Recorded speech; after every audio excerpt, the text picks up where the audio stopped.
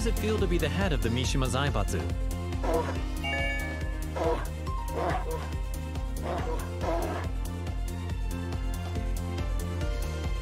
What's your first order of business?